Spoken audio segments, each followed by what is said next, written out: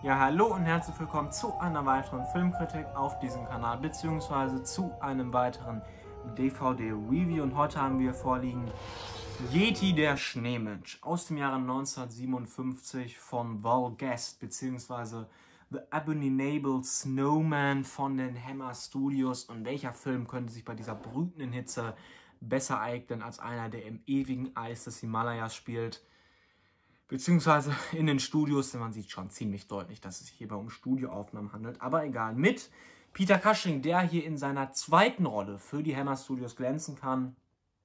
Denn das hier ist sein äh, zweiter Film für das benannte Studio nach Frankensteins Fluch und deswegen kann man ihn hier natürlich noch in einer sehr jungen Rolle spielen, obwohl er irgendwie auch immer gleich alt aussah, muss man ja auch sagen. Also irgendwie hat er sich während seiner Filmografie, ob man jetzt einen Film von ihm aus den 70ern oder 40ern oder 50ern guckt, irgendwie sah er immer gleich aus. Aber egal. Ja, in der Hammer Edition von Arnolis hier als Nummer 4, hier auf dem Spine auch dieser schöne rot-gelbe Schriftzug, finde ich sehr, sehr schön. Und natürlich dann dieses Plakat, das finde ich auch ganz nett. Es gibt bessere Hammer-Plakate, aber das ist trotzdem wirklich cool. Denn das, dieses Plakat kann die Mystik und die Atmosphäre dieses Films doch ziemlich gut rüberbringen. Hier dieser Schatten des Schneemenschs, der hier diese zwei Bergsteiger ähm, verängstigt. Das ist wirklich ganz nett gemacht. Und natürlich hier das Geheimnis des Himalayas, immer irgendein deutscher Beititel ist ja auch egal. Und ähm, Volgest ähm, hat auch schon mal bei den Hammer Studios Regie geführt und zwar unter anderem für die ersten zwei Quartermass-Filme, Schock aus dem Jahre 1955 und Feine aus dem Nichts, also Quartermass 2 aus dem Jahre 1957. Ja, dann gucken wir mal einmal rein. Und wie wir es bei Anolis kennen in der Hammer Edition, haben wir immer ein kleines Booklet beiliegen, auch wenn das hier diesmal ja, eher wirklich dünn ausgefallen ist, auch wenn die Schrift ziemlich klein ist. Aber trotzdem, bei diesen alten Filmen gibt es halt meistens eher wenige Hintergrundinfos, aber es ist trotzdem sehr, sehr interessant, diese dann halt nachzulesen. Ja, dann haben wir hier auch die Disc, da haben wir das gleiche Cover drauf und der Film ist auch ab 12 Jahren vorgegeben. Das heißt, wirklich Horror ist es eigentlich dann nicht. So. Ja, und hier hinten sehen wir ihn auch schon, Peter Cushing, noch ziemlich jung und natürlich auch, man sieht, es sind wirklich äh, Studioaufnahmen. Worum geht es überhaupt? Es geht um eine Expedition nach Nepal, war es, glaube ich, genau, wo Peter Cushing unter anderem dabei ist. Und diese wollen sich auf die Suche nach dem mysteriösen Schneemenschen, nach dem Yeti machen, also auf die Suche nach ihm. Und sie werden da auch fündig. Ja, und dann entwickelt sich da so eine klaustrophobische ähm, Atmosphäre auf dem Himalaya, weil der Yeti natürlich die Gruppe nach und nach dezimiert, beziehungsweise nicht unbedingt der Yeti, aber es kommt auch zu Streitigkeiten unter den Bergsteigern und man sieht den Yeti nie ganz, auch bis zum Ende. Man sieht ihn immer nur angedeutet und das finde ich sehr, sehr cool.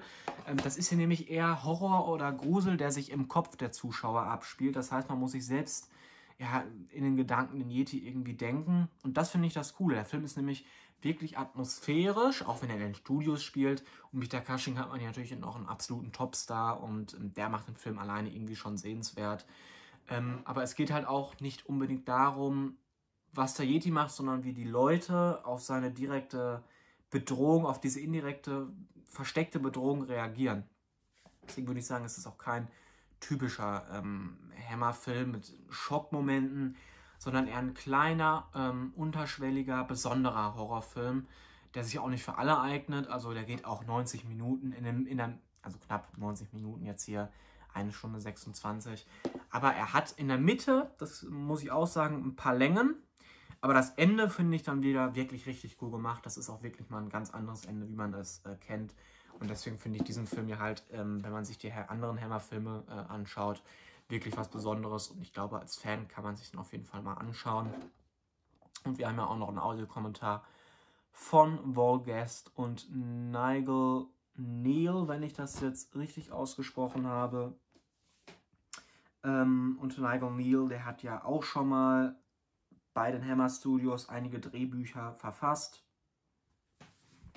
Ja, und ähm, er zeigt ja halt, dass er wirklich auch die Dialoge ähm, schreiben kann. Das heißt, es geht hier halt nicht nur um ja, dumpfen Horror und irgendwelche Schockmomente, sondern es gibt wirklich, ähm, es ist ein bisschen intelligenterer Horror, die man von den Hammer Studios vielleicht auch gar nicht so erwarten würde. Aber er hat halt einige Längen, aber der Anfang und das Ende, insgesamt ist er doch wirklich ganz nett und an solchen heißen Tagen wie heute oder allgemein momentan kann man sich den wirklich mal anschauen. Und Anoles hat ja auf jeden Fall eine sehr, sehr schöne VÖ rausgebracht.